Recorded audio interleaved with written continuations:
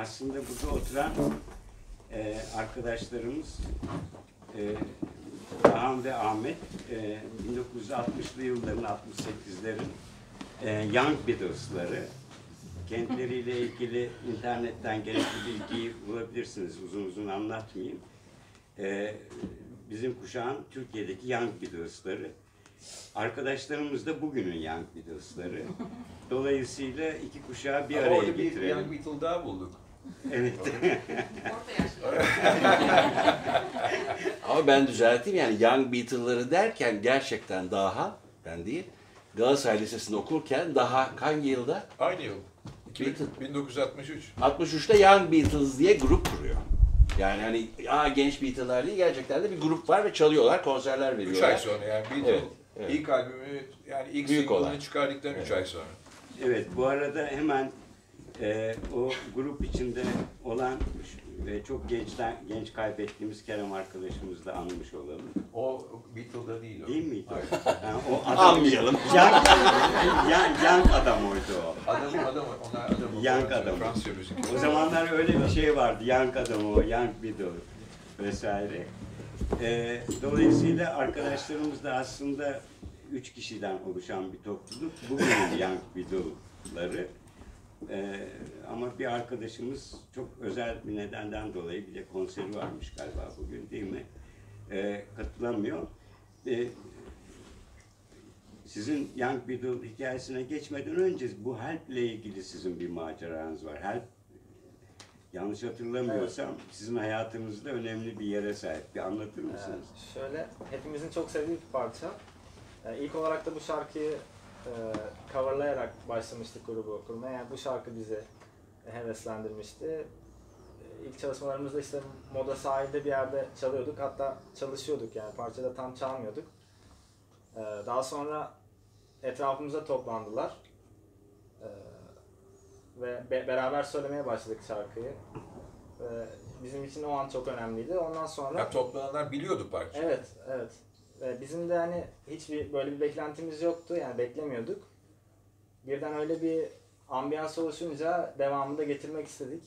İşte bu Şanlıurfa'da oldu, gün kurtulacağız. Orada da var, orada da var.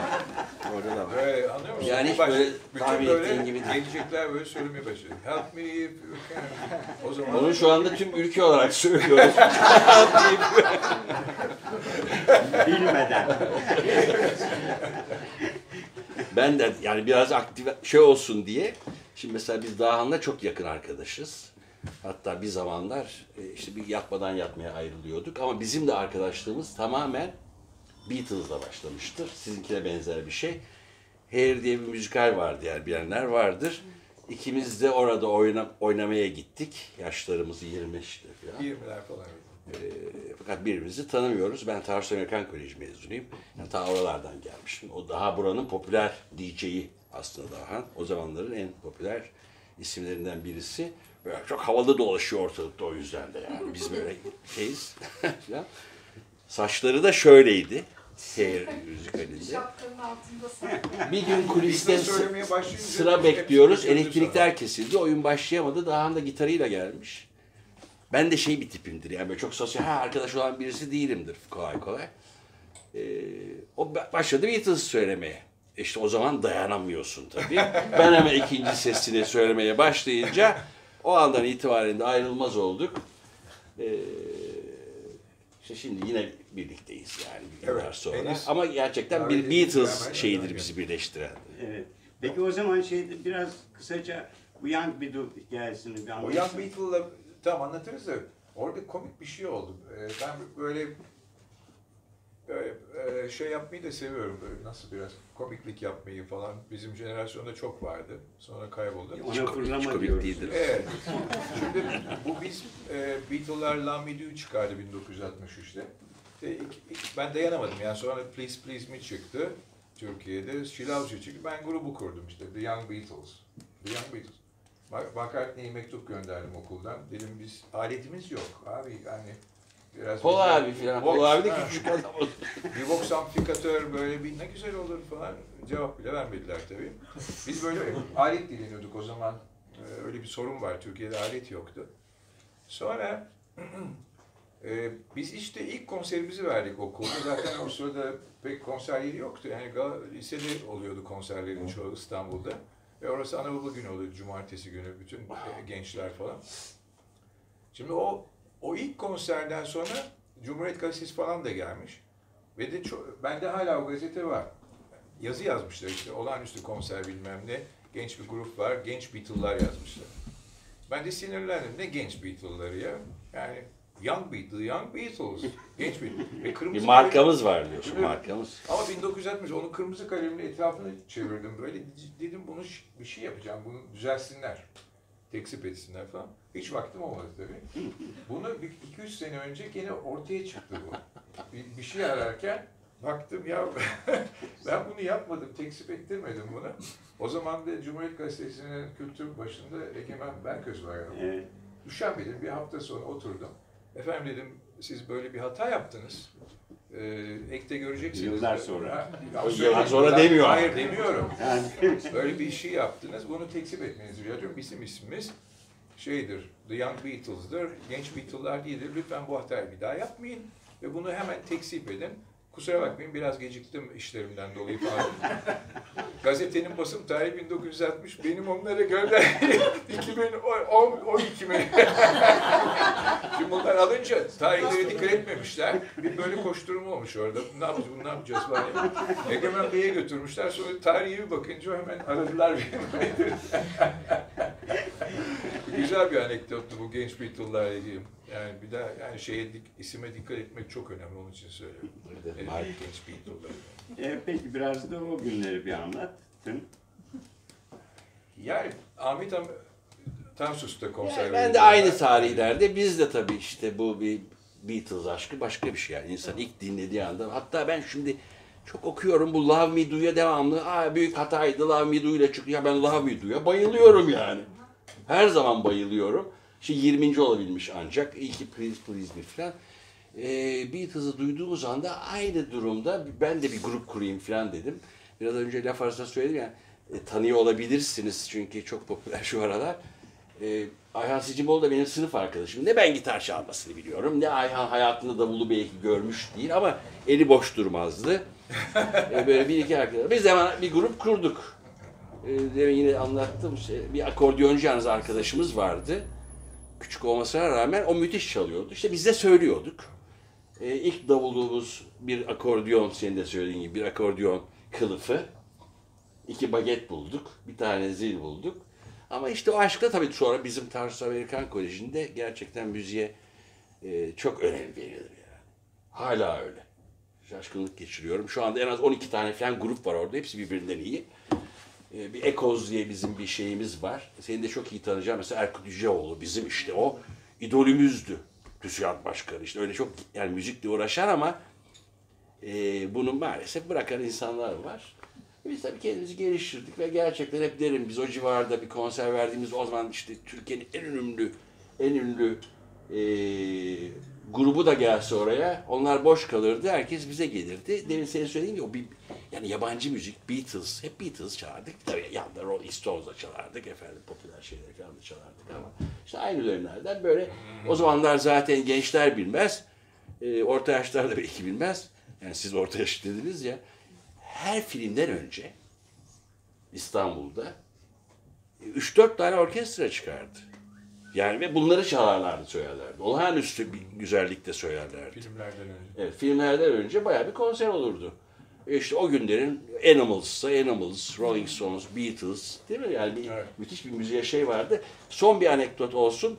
Gitar konusu açıldığı için. İşte babam bana gitar almaya karar verdi. Bütün İstanbul'u gezdik. Bir tane gitar bulamadık. Sonra şurada hemen e, Harbiye ile şey arası bir Odeon. Orada bir hala da duruyor gitar. Odeon diye bir mağaza vardı sen hatırlarsın. Orada bir gitar bulduk. Yani aman Allah'ım koca İstanbul'da tek gitar. E, O günlerden geliyoruz. O günlerde e, işte yine de bu İşte- gruplar kuruldu her yerde. O demin söylediğim şeyler çıktı. İşte yurt dışından gidenler getiriyordu gitar filan satıyorlardı. Böyle şeyler var. İşte konserlerde dileniyorduk. Yabancı orkestralardan falan. Abi şunu çok vermek istemiyordu ama yani baskı Tabii, tabii. veriyorlar Tabii, tabii, tabii. sonra. Evet. Alet- Yani ne şartlarda çaldık. Ee, iki tane aynı amfiye gitarı da bağlarsın, bası da bağlarsın, her şeyi O bağlarsın. sırada Beatles'lar da bağlı. Aynı Evet, evet, evet, doğru, doğru, doğru. Tek amplifikatör Onlardan da teneke sesler çıkıyordu Doğru. yani. Valla çok iyiler onlar. Yani bu YouTube sayesinde, daha doğrusu internet sayesinde onların ilk günlerini bir- birebir artık yaşa, Görüyoruz, yaşayabiliyoruz ve görüyoruz, evet. ben şaşkınlık geçiriyorum ne kadar iyi oldukları Evet. karşısında. O zaman evet gitar yokmuş ama e, benim amcam Kanada'da yaşıyor 55 senedir ve çok iyi Necdet Yaşar'la falan Oo. tambur çalardı. Evet. E, ondan sonra oraya göçtükten sonra da 5-6 senedir çalmıyormuş. Artık 80 yaşında. E, kızı demiş ki baba niye hiç çalmıyorsun tambur? Bir kitap düştü kızım kırıldı demiş. Hiç sesini çıkarmamış garibim. Bana hemen telefon etti. Dedi Ömer yılbaşına acaba buna bir sürpriz yapabilir miyiz? Ben tabii o yılbaşını ertesi gün olarak kabul ettiğim için bütün İstanbul'u dolaştım. Bir tane tamburu sadece Düşün Galata'daki ya. Çankaya merkez, Ankara merkezde bir yerde bulabildim. Tambur yok. Yani hadi, Düşünebiliyor hadi musun? gitarı anlıyorum burada pek yok ama tambur Gitar yok. her yerde var. Bateri her yerde. Ha şu anda diyorsun. Şu Ha, o anda. yeni olan bir şey tabii Tambur doğru. yok. Çok yeni bu. Yani Ha. 3 ay önce. Şimdi bu tam eski sanatlar gibi. Ben geçen gün bir belgesel gördüm. Hangi kanalda? İşte buradan o göç eden biliyorsun bu sanatkarlar hep Ermeniler şeyler. O tamburları filan utları yapanlar onlar. Şuraya gidenler ve geliyor buluyor. Diyor ki ben bilmem kim ustanın çırağının çırağının çıra- çırağıyım en sonunda ben kaldım diyor. Çünkü çok meşhurmuş, anlatırmış. Yani o aradığı kişiyi bulamıyor ama o e, lokasyonda e, bir ut yapan, tambur yapan, o tip işte Türk sanat müziği sazları yapan birisini buluyor ama şimdi ben kaldım diyor. Hani birçok görüyoruz ya kapalı çarşıda falan. Devamı daha da ilginç. O tamburu buldum. Hemen dedim ben bunu alıyorum. Ne kadar? İşte 2000 lira. Neyse o. E ama bunun kılıfı olacak. Tabii ki bilmem kasası olacak. Çünkü Kanada'ya gidecek bu. Ee, güzel ama dedi biz buradan yollayamayız. Niye? Ankara'ya gidecek. Çünkü albay bilmem kim bunu yapan. O çalacak. Ha, Mükemmel olduğuna. Mükemmel mi? Bravo. Ona göre Ankara'dan yollanacak. 13 günde de maşallah Kanada'ya gitti. Fakat Kanada gümrüğü bir dakika demiş. Bu e, Daesh'ten mi geliyor? Nereden? Bu silahı bir açın. Çünkü bir kasası var inanamazsınız. Bu koltuğun iki Ama misli. mecbur kırılır. Çünkü hem kılıfı var hem de tahtadan bir kasa var. Meraklı bir adam. Neyse neticede ulaştı ve amcam çalmaya Ama başladı. öyle falan tambur filan. bulunmaması enteresan. Evet.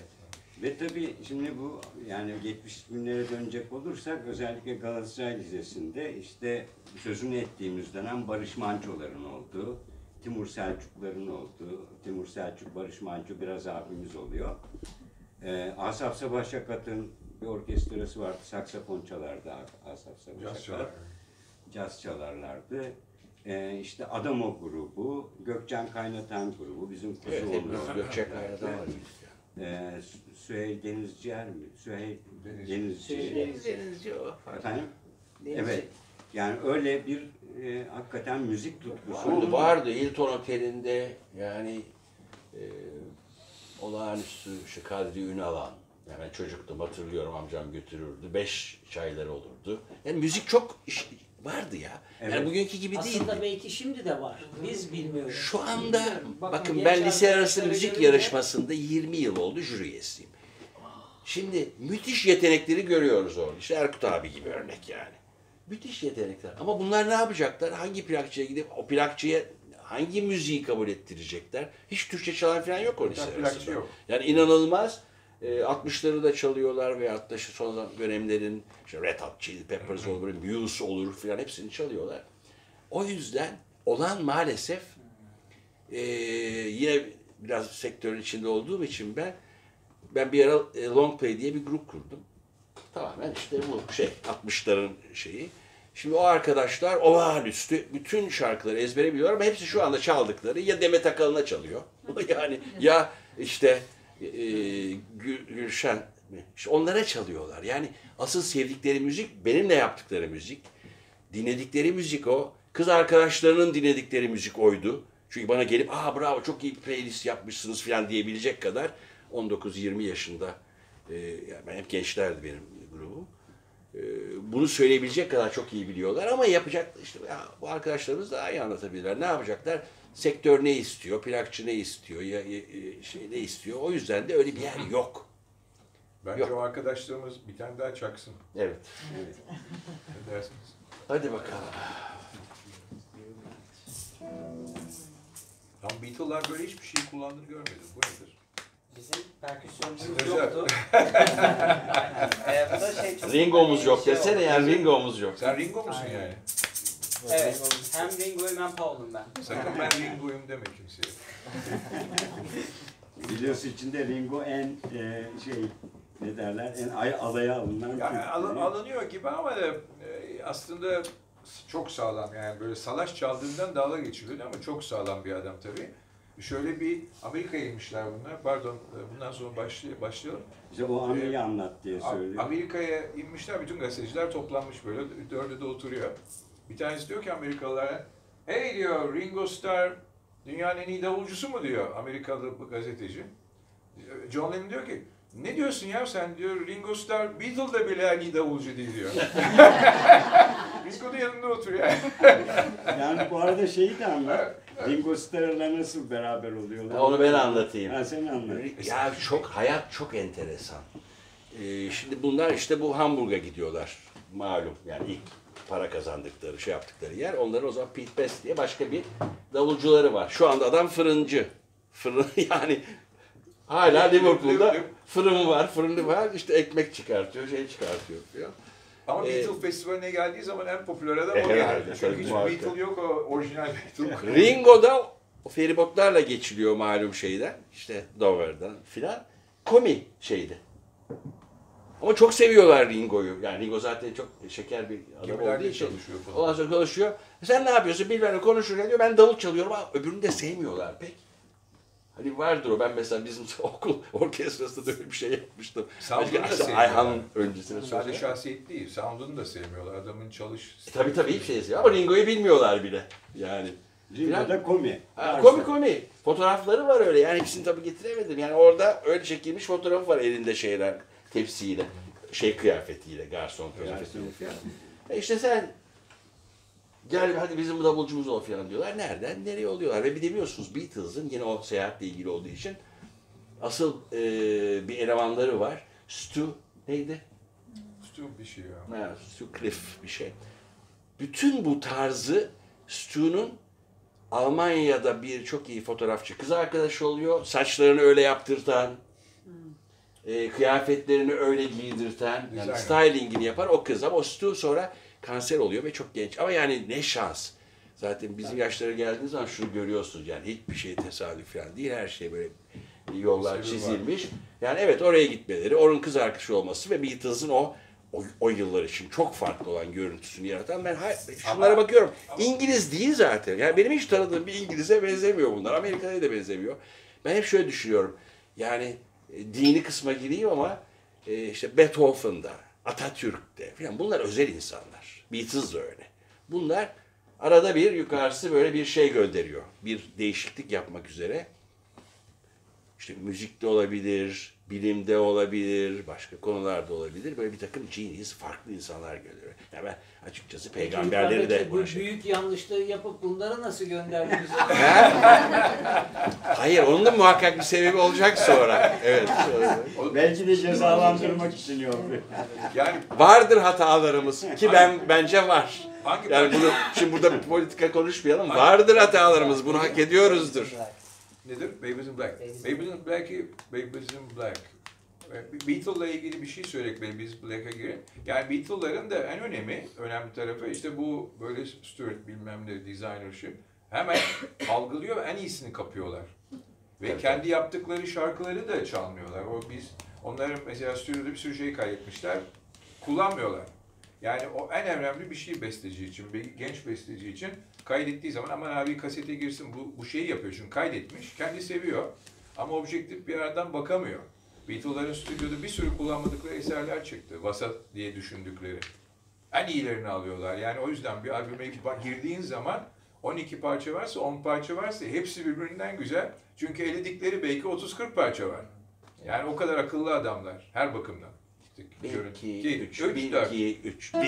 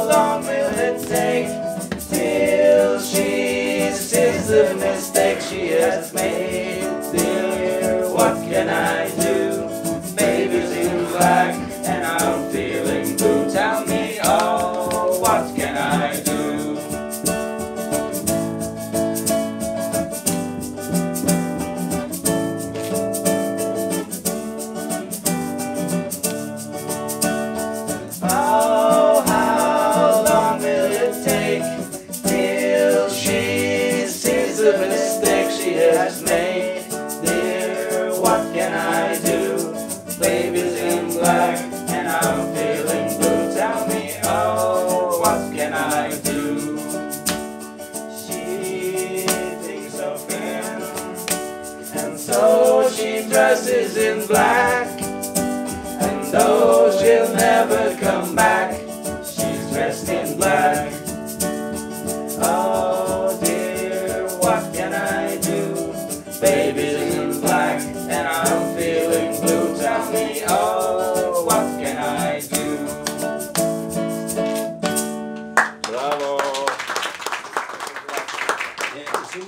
Kim- devam edelim Bence de. isterseniz ama biraz da babalar da katılsın arkadaşlara Katıl. destek için. Kim babalar? Benim çocuğum yok ama baba doğru. Evet. Ben, bence bir tane daha hemen başlayın. Yani biz katılıyoruz zaten. Bak şey, Ama daha önce. Teper Duvarları çok şey. Ne? Ee, arkadaşlar olmadığı için kaç şarkı? Yani biz 15-20 şarkılık bir repertuarımız vardı ama Biliyorum ha biliyorum. Bak gel şey söyleyelim. Bunun üzerine şey gider. When I call. Siz de biliyorsunuz. Evet. Hadi daha. Bir dakika hangi, hangi tondan çalıyorsunuz? Re. Şimdi